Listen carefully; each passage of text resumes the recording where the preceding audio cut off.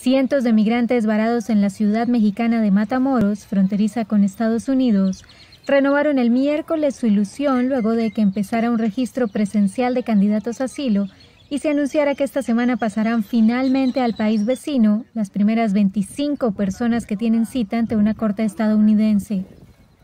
Miembros de la Oficina del Alto Comisionado de las Naciones Unidas para los Refugiados, ACNUR, iniciaron la colocación de pulseras a los aproximadamente 700 migrantes que están en el campamento junto al río Bravo.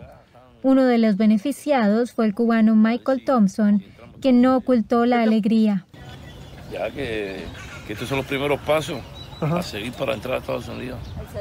El censo, este es el censo. Me siento bien, me siento realizado. Gracias a Dios.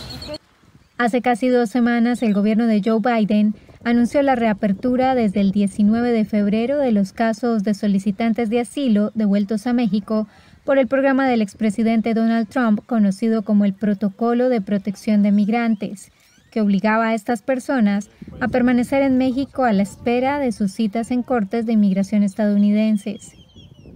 No obstante, el viernes pasado reinó la confusión e incertidumbre entre las familias que están en el campamento al no conocerse cuándo comenzarían realmente las citas en las cortes del gigante norteamericano.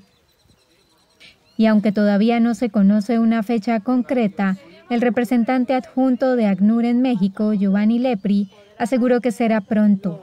No, hoy, hoy, no va, hoy no va a salir nadie, hoy estamos en, proceso de registro, va a ser en los próximos días, pero no le puedo confirmar ah, todavía la, fecha. Depende Se estima que existen 25.000 casos activos del proyecto MPP de los cuales 12.000 ya se han registrado en la página electrónica Conecta que opera la ACNUR, y al menos 2.000 aspirantes ya cuentan con una cita.